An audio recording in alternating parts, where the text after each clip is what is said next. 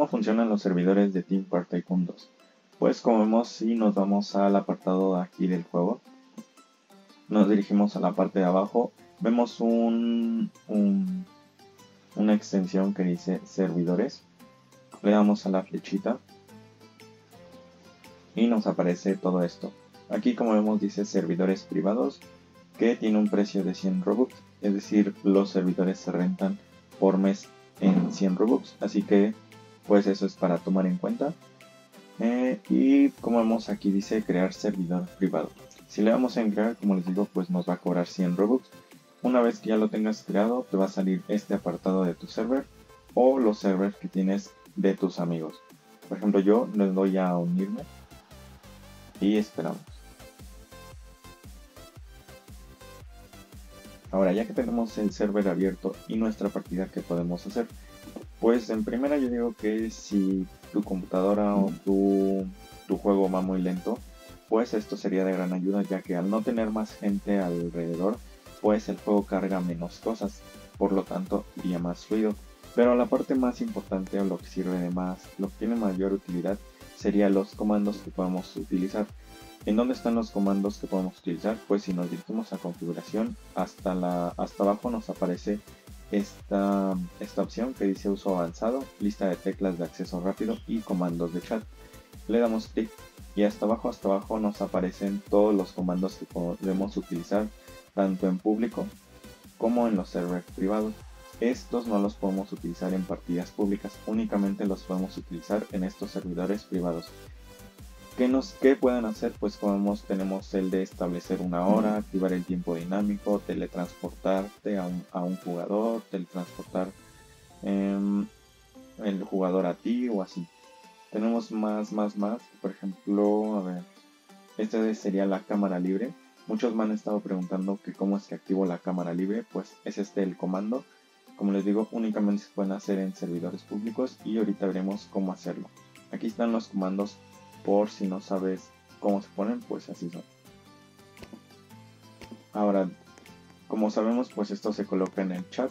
Le damos aquí al chat y colocamos esta, pues la barra, el slash, según yo.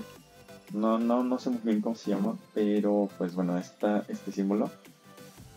Colocamos este símbolo y aquí como vemos nos aparece una serie de, pues de, de comandos ya, por así decirlo, ya preescritos. Pero por ejemplo vamos a colocar la hora del día en la noche. Para esto le damos, le ponemos una P, una S y escribimos así como dice. Una A, una D, una M, una I y una N.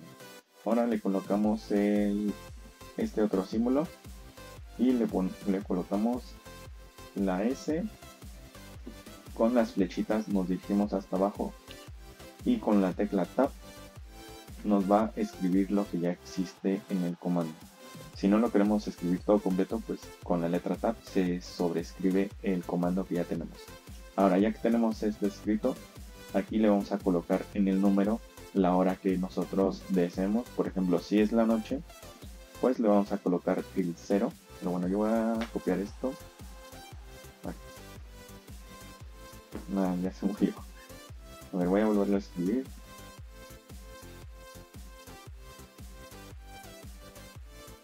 Y le colocamos el 0. Como vemos, pues el 0 es de la noche. Si le colocamos el 1600, sería en la tarde. Si le colocamos quizá el 300, pues como se mueve el sol hacia arriba. Mm, que puede ser, por ejemplo, un 500. El sol se movió hacia acá. No sé, es cuestión de que ustedes chequen de qué manera les conviene más el sol. De este lado, ¿qué podemos hacer? Volvemos a activar la barra, damos, volvemos a escribir. Eh, siempre van a ser los comandos o usualmente van a ser con, con este inicio. Como vemos pues este de Allo Free Cam sería la cámara libre, le damos tap si no queremos escribirlo. Y ahora, a ver, si le damos solo así, como no se activa nada esto requiere que nosotros le especifiquemos a qué jugador le queremos colocar la cámara libre le damos un espacio y colocamos nuestra primera letra de nuestro usuario. En mi caso sería la R. Y como vemos aquí aparece mi nombre de usuario. Lo coloco con Tab y ya me aparece. Y ahora sí le doy Enter. Y como vemos ahora sí ya me sale que con la letra, eh, con la tecla Shift más P se me activará la cámara libre. A ver. Y como vemos pues ya se activó la cámara libre. Si es que por ejemplo quieres hacer cinemáticas y, esto va muy rápido, pues con la letra Shift lo que harás será pues hacer la cámara más lenta como vemos si le dejo de presionar shift como vemos la cámara se va más rápido con la ruedita del ratón como haremos lo que haremos será ampliar como que el rango de visión como vemos se hace zoom y se hace como que una ampliación de lo que podemos ver. Así que pues bueno vamos a salirnos de nuevo de esto. De nuevo nos salimos con shift más p. Ahora qué otro comando podemos de los más comunes hacer sería pues el, el de la velocidad que para esto bueno colocamos de nuevo la barrita y le colocamos pues lo del inicio que es la P, la S, la A, la D, la M, la I y la N colocamos la otra barrita y aquí colocamos una S como vemos aquí nos aparece set mode speed o bueno como se diga en inglés este, le damos en, subimos el comando si, o si no lo escribimos, vamos a escribirlo así. La E, la T, la M, la O, la V, la E, la S, la P, W y la D.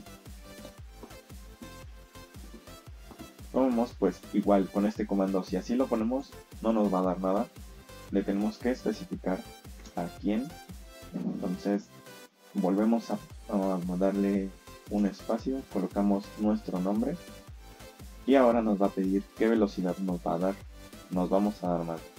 Por ejemplo, en este caso tenemos una velocidad de 100. Si le ponemos, em, por ejemplo, 10,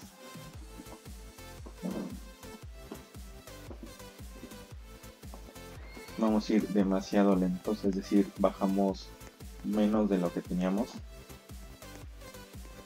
Si le colocamos una velocidad de 100, pues iremos a la velocidad normal que teníamos. Si le colocamos la velocidad de, por ejemplo, 500, ahora iremos pues más rápido de lo que realmente de lo que realmente caminamos normal. Se supone que iríamos 5 veces más rápido. Si le colocamos, por ejemplo, 1000, ya sería 10 veces más rápido.